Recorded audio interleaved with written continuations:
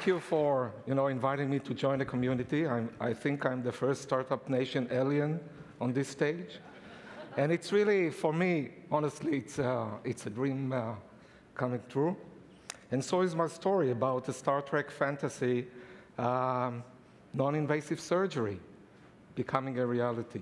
So for the last 13 years, one, three, 13 years, I've been part of an exceptional team at Insightec in Israel and partners around the world for taking this idea, this concept, non-invasive surgery, from the research lab to routine clinical use. And this is what I'll tell you about. 13 years. For some of you, they can empathize with that number. For me, today, on this stage, it's like a second bar mitzvah experience. yeah. So, so this, this dream is really enabled by the convergence of two known technologies.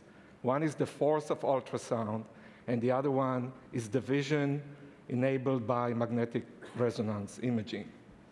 So let's first talk about focused ultrasound. And I hold in my hand the tissue mimicking phantom. It is made out of silicon. It is transparent, uh, made just for you. So you see it's all intact completely transparent, okay? I'll take you now to the acoustic lab. You see the phantom within the aquarium. This is a setup I put in the physics lab. On the right-hand side, you see an ultrasonic transducer.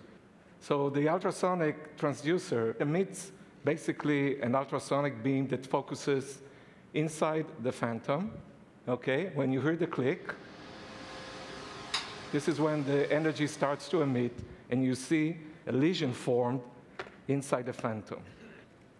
Okay? So everything around it is whole and intact. It's just a lesion formed inside. So think about this is in your brain. We need to reach a target inside the brain. We can do it without harming any tissue. So this is, I think, the first kosher Hippocratic surgical system. okay, so, so let's talk a little bit about ultrasound, the force of ultrasound. You know all about imaging, right? Ultrasound imaging. And you know also about lithotripsy, right? Breaking, uh, breaking kidney stones. But ultrasound can be shaped to be uh, anything in between because it's, it's a mechanical uh, force. Basically, it's a force acting on a tissue that it transverses. So you can change the intensity, the frequency, the duration, the pulse shape of the ultrasound to create anything from an airbrush, you know, to a hammer, okay? And I am going to show you multiple application in the medical field that can be enabled just by focusing, physically focusing. Okay, so this idea of harnessing focused ultrasound to treat lesions in the brain is not new at all. It's when I was born, this idea was already conceived by pioneers such as the Fry brother and Lars Leksell, who is known actually as the inventor of the gamma knife. But you may not know that he tried to perform lobotomies in the brain non-invasively uh, with focused ultrasound in the 50s. He failed, so he then invented the gamma knife. And it makes you ponder, you know, why, why those pioneers failed? And there was something fundamental that they were missing. They were missing the vision. It wasn't until the invention of the MR and really the integration of MR with focused ultrasound that we could get the feedback, both the anatomical and the physiological, in order to have a completely non-invasive, closed-loop surgical procedure. Okay? So this is how it looks, you know, the operating room of the future today. Okay, this is an MR suite with a focused ultrasound system. And I'll give several examples. So the first one is in the brain. One of the neurological conditions that can be treated with focused ultrasound are movement disorders like Parkinson or essential tremor.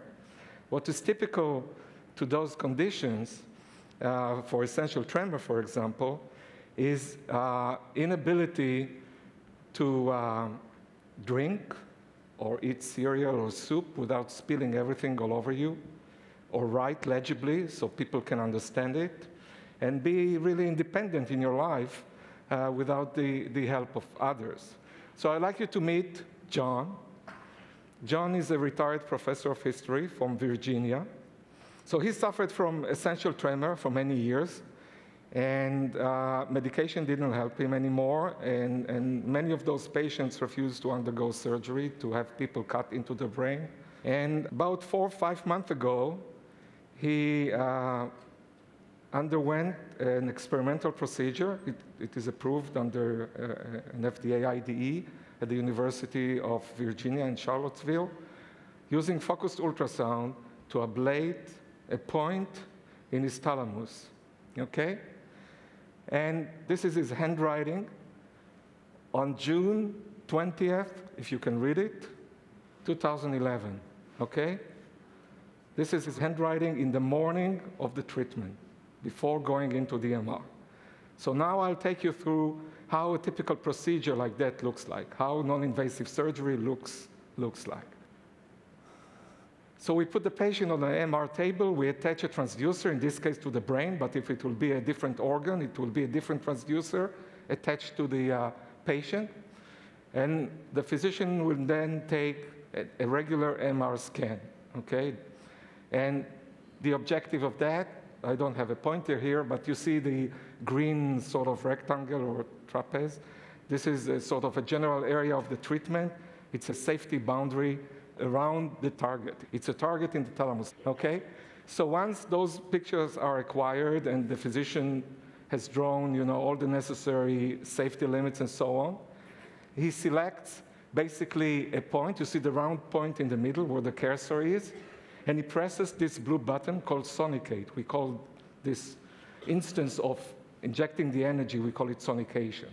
The only handwork the physician does here is moving a mouse. This is the only device he needs in this treatment. So he presses sonicate, and this is what happens. You see the transducer, the light blue. There's water in between the skull and the transducer, and it does this burst of energy. It elevates the temperature. We first need to verify that we are on target, right? So the first sonication is at low energy. It doesn't do any damage, but it elevates the temperature by a few degrees. And one of the unique capabilities that we leverage with the MR is the ability to measure temperature non-invasively. Okay, this is really a unique capability uh, of the MR. It's not, it, it is not being used in, in regular diagnostic imaging, but here we can get both the anatomical imaging and the temperature maps in real time, and you can see the points there on the graph. The temperature was raised to 43 degrees temporarily. This doesn't cause any damage, but the point is we are right on target. So once the physician verifies that the focal spot is on the target that he has chosen, then we can move to perform you know, a full energy uh, ablation like you see here, and you see the temperature rises to like 55 to 60 degrees. If you do it for more than a second, it's enough to basically uh, destroy the uh, proteins, the cells.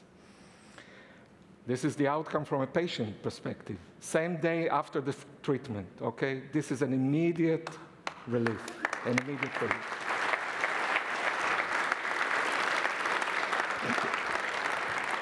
John is one of, of like dozen very uh, heroic, courageous people who volunteer for the study. And you have to understand, you know, what is in people's mind when, when they are willing to take the risk.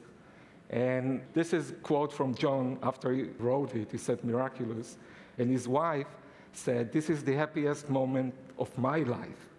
And you wonder why. I mean, one of the messages I'd like to carry over is what about defending quality of life? I mean, those people lose their independence, they are dependent on others. And, and John today is fully independent. He returned to normal life routine, and he's also play golf like you do in, in Virginia, right? When you are, uh, you know, retired. Okay, so you can see here the spot. It's like three millimeters in the middle of the brain. There's no damage outside. He suffers from no neural deficit. There's no recovery needed, no nothing. He's back to his normal life. Let's move now to a more painful subject. Pain is something that can make your life miserable.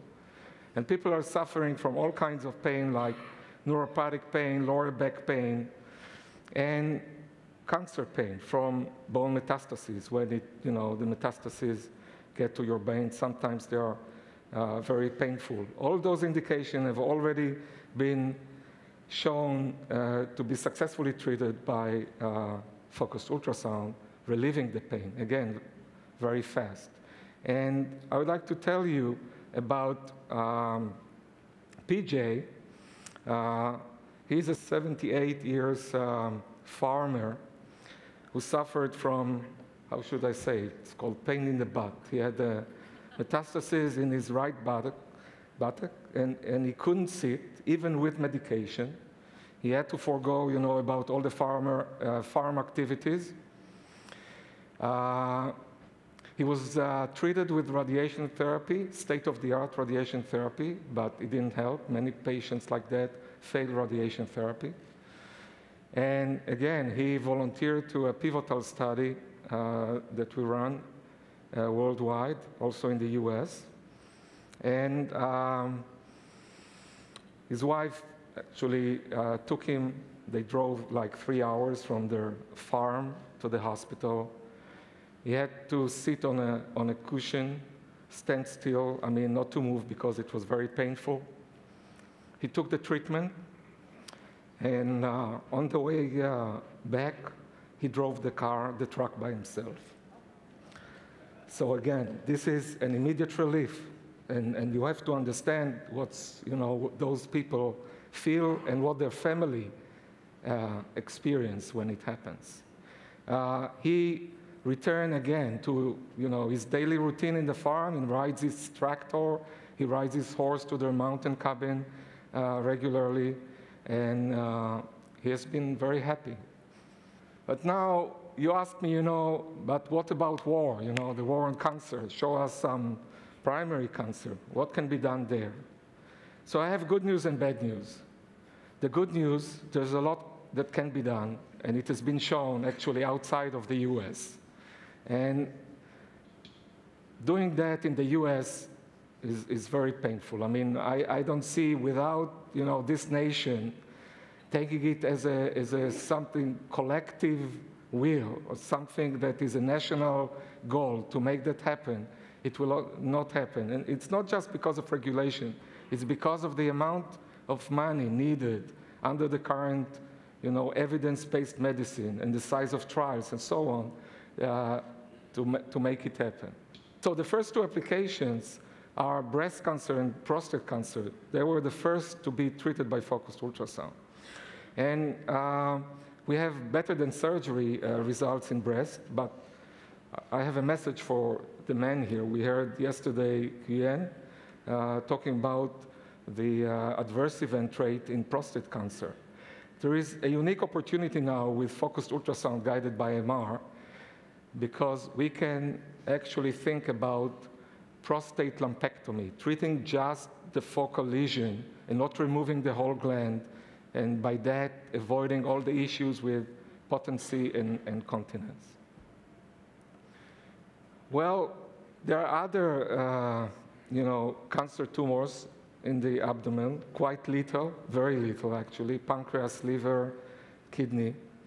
The challenge there with a breathing and awake patient, and in all our treatment, the patient is awake and conscious and he speaks with the physician um, is you have to learn, uh, teach the MR some tricks how to uh, do it in real time. And um, this will take time. This will take two years. But I have now a message to the ladies.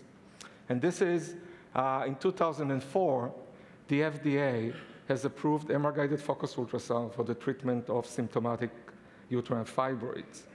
Uh, women suffers from that uh, disease or those tumors have uh, heavy bleeding during period, abdominal pressure, back pain, frequent urination, and sometimes that cannot, they cannot even conceive and become pregnant because of the fibroid. This is Frances. She was diagnosed with a grapefruit-sized fibroid. This is a big fibroid. She was offered hysterectomy, but this is an inconceivable proposition for someone who wants to keep her pregnancy option. So she elected to undergo a focused ultrasound procedure in 2008, and in 2010 she became the first-time mother to a healthy baby. So new life was born. So in, in conclusion, I, would like to leave you with, with actually four messages. One is think about the amount of suffering that is saved from patient undergoing non-invasive surgery. And also the economical and emotional burden removed from their families and communities and the society uh, at large. And uh, I think also from their physicians, by the way. And the other thing I would like you to think about is the new type of relationship between physician and patients when you have a patient on the table which is awake and can monitor even you know, the treatment. In all our treatment, the patient holds a stop sonication button. He can stop the surgery you know, at any moment.